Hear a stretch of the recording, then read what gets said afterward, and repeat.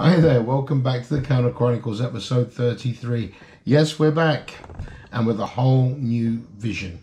We're going to carry on with the Philippines and uh, traveling there, but we're going to deal, we've dealt a lot with the um, decent part of the Philippines, the goods and the bads, but now we're going to hit on the darker side of the Philippines. So this is a two part series. So for episode 33, part one, we're going to deal with drugs. And if you want to know more, just hang around. Back in a mo.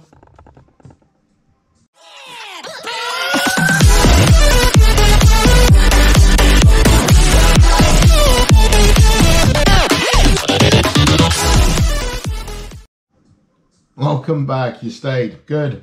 Okay, let's get straight into this.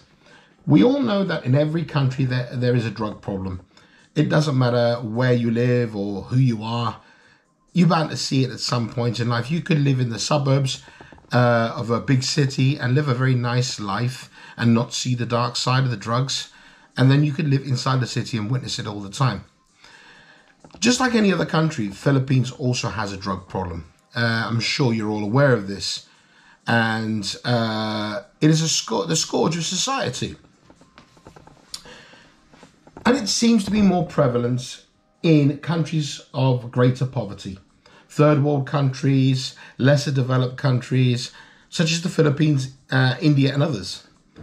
However, a lot of these countries tend to hide this because it is an embarrassment. And the worst part of the drug scene there is that it's easily available, easily obtainable, and cheap. Okay, we're going to look at what type of drugs there are. You know, the most simplest one that they use there, especially the youth, is called rugby. Like the game, rugby. What it is is basically solvent abuse, glue sniffing, um, and other highly potent chemical sniffing. You'll see some children using it. You can see some adults using it. It is the very cheapest form, but it is endemic to creating a worse drug situation there. Uh, it's not the best of things to see, but it's very difficult to stop. You know, going on, you will have smaller amounts of marijuana, cocaine, maybe even heroin. But the drug of choice in the Philippines for mostly adults and youths of teen years would be shabu. What is shabu? Shabu is crack cocaine, crystal meth, uh, ice, or whatever name you want it to go by. Highly addictive, uh, easily available in the Philippines due to two reasons um, hidden labs that produce it, and the importation, illegal smuggling, and importation through countries like China, etc., etc. And if you take into consideration that um, the Philippines has a great amount of coastline, I can assure you that smuggling from the sea is not very hard. I'm not saying that the uh, Philippines customs and border forces and their coast guards can't deal with it, but they can't deal with all of it. Okay, they have a limited structure. And though they try very hard, it isn't easy to stop. Then you've got to look at, uh, you know, the other ramifications of it. And that is that there's a lot of corruption within that system. So you'll have certain customs officers, not all, certain Philippine National Police, not all, involved in some way, which was very prevalent when Duterte took power. So, how can he deal with it? He's dealt with it in the only way he thought he could, and that was his war on drugs. You know, he went hell bent for leather to solve this problem, and we all know how. You know, he was uh, raiding and even killing individuals, or his troops were, trying to get rid of the big drug dealers. Some fled, some stayed in the country and they're still running their little empires. Um, what limited success, or great success, should I say, apologize, great success, Duterte had as mayor of Davao City in cleaning it up was amazing. But that's one city. You know, he's trying to clear up the whole country now. That's not such an easy thing to do, especially with corruption. The man fired th- thousands of police officers because they were all on the take or they were just useless. He had to employ a whole load of new ones, and still the problem exists. He feels that by executing, exterminating, or eliminating or liquidating these people, it's going to stop. We all know real, in reality, it's not. Because where there's money to be made, there's always some scumbag trying to make it. Uh, you know, it all depends on how you want to look at the scenario, how it's played out. And it has varying degrees of success and failure. But it will always be there. Now, institutional corruption is probably the biggest issue to stopping these drugs and the drug dealers and the drug users. If there was less corruption, perhaps this could have been dealt with as Duterte wants. I mean, I don't necessarily agree with his methods. It doesn't mean I'm going to judge him for it. It is what he's done. We know from the West that no matter what we've tried, DEA, um, drugs departments, and all everything that, that's been tried through law enforcement and federal law enforcement, it didn't work. Even the capture of Escobar just put somebody else in his place. In Escobar's death, somebody else took his role. El Chapo, who's next? There's another one, there's another one, and there's another one. So in the Philippines, it'll be the same. You can kill or liquidate, we say, uh, one of these big top dogs just to be replaced by his junior dog. And that becomes then the top dog. Is there light at the end of the tunnel? Who knows? However, we can't just uh, talk about that. Now we've got to talk about what uh, what does this mean for expats and foreign tourists. Now, um, without being judgmental, it's not what we're here for. We're going to talk about when you visit the Philippines as a tourist and as or as an expat. There are some that may partake in these uh, chemical concoctions.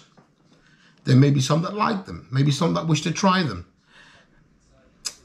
I'd have a, a bit of warning about that. Now, up till this point, nobody or no foreigner that I'm aware of has been taken out by Duterte's uh, teams. I haven't heard of any foreigner being killed by Duterte or his teams. However, that doesn't mean to say someone won't be the first. So, my advice or my warning to anybody deciding to go to the Philippines and play with this stuff, there's severe consequences. First and foremost, if you're not taken out permanently by one of his teams, you could end up in one of his jails. If any of you know about Bilibid prison or any other prison like that, you're not sure, check the YouTube videos. It's scary stuff.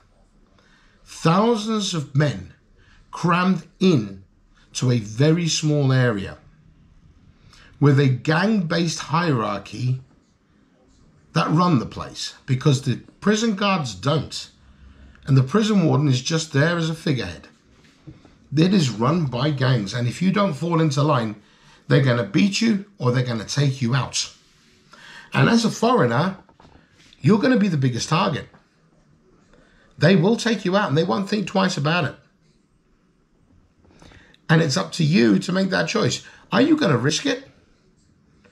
You know, the least that can happen to you is a severe fine and deportation. But deportation could mean anything from five to 10 years, depending on how the judge sees it. If they see you as an habitual drug user, they could keep you out for 10 years or maybe longer. If it's a first time thing, you've got no offences anywhere else, maybe they'll just kick you out for five years.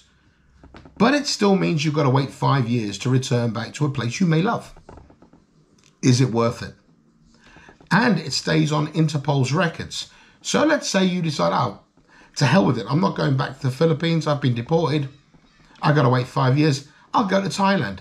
You might get to Thailand, land in the air, go through immigration, they put your passport through the scanner, and it comes up, boom, drugs related charge and conviction in the Philippines.